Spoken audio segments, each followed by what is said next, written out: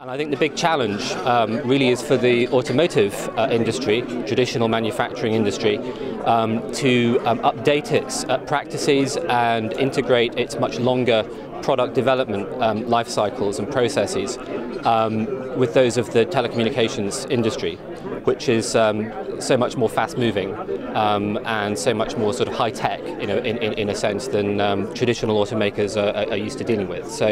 um, I think that's probably the big uh, challenge, and I look forward to hearing about how we're going to solve that this afternoon.